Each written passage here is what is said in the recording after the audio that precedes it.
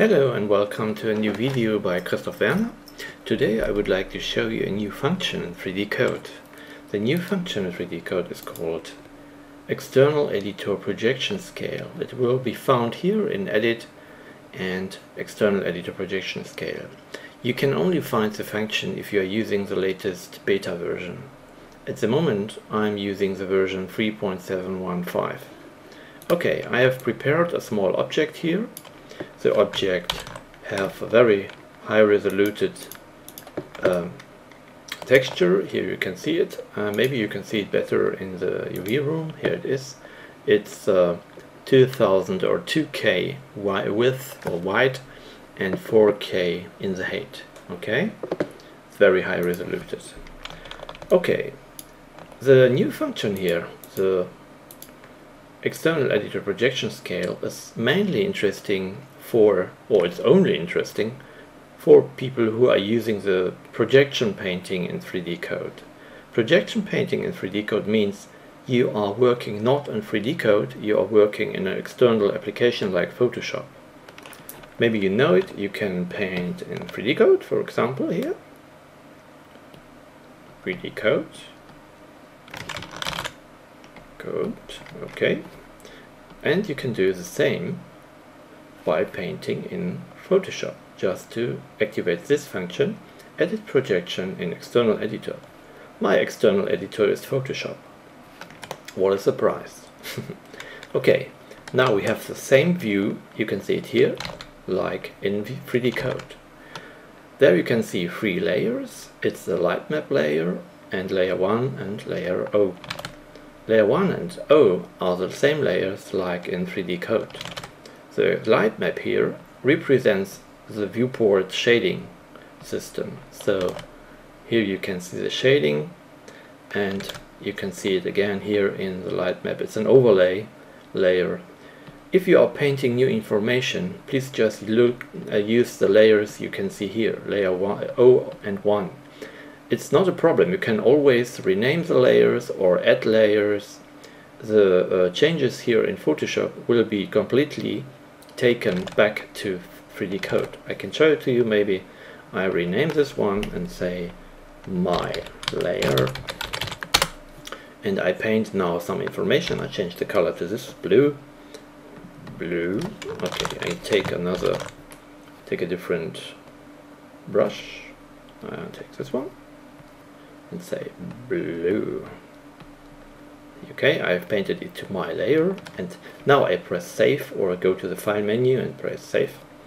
It will be saved now, it's a temporary file, it's a Photoshop file. And now I go back to 3D, 3D Coat and my changes were taken. So what means my layer was taken, the new name, and the projection, the painting, what I've done in, in uh, Photoshop was taken too. Here it is. So now we will come to main main uh, issue of, this of this uh, video. What is the new external edit editor projection scale good for?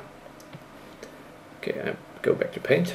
Okay, so when you are painting sometimes and you zoom out and you use the projection scale, I do it now. Update then you see the current projection will be taken. The current projection, the re resolution of the current projection is the same resolution like your screen area here. So mean, it means every pixel in this screen area will be directly projected to your texture or to your object. So what it means is when I zoom in and I paint details, I can already see it here. I make my brush a little bit smaller. Go to my layer. Don't forget to do this. Change a color and say this is my new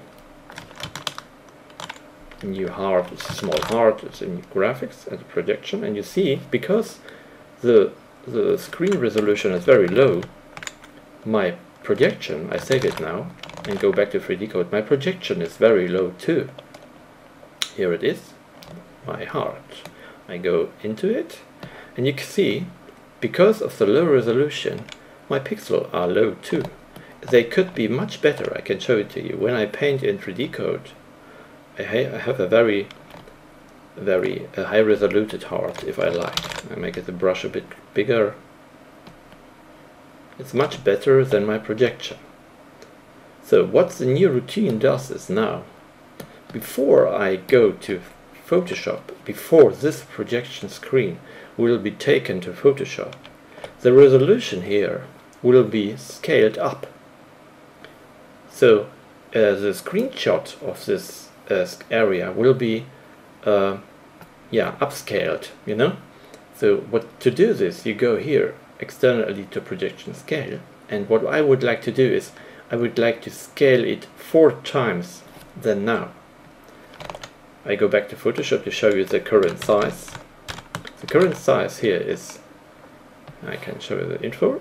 It's 1250 to 900, uh, 959 so what I do now is I go back I change the resolution to four times the size than now. You remember my ugly heart here? I do the same now I go back to I use a shortcut. I go back to Photoshop. It needs a little bit longer because the temporary file it's much bigger now. It's four times the size than before. Update. And now you see my size is 5000 to 3836 so it's four times the size than before. I must scroll to see my my object. I zoom out here is my object it's the same but the resolution you can already see in the, with the cubes cube edges here the resolution is much better so, and now, when I paint now a new heart, for example, I do it in yellow and say this is my heart. Oh, maybe a little bit bigger. So, this is my heart here. Save it. Go back to 3D Coat. It will be projected now. There, it is. And I zoom in. You can see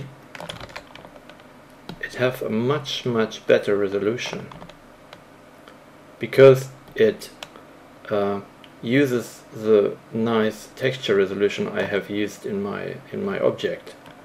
Now you can see the projection is much better because I have scaled the screen resolution up before I go to Photoshop.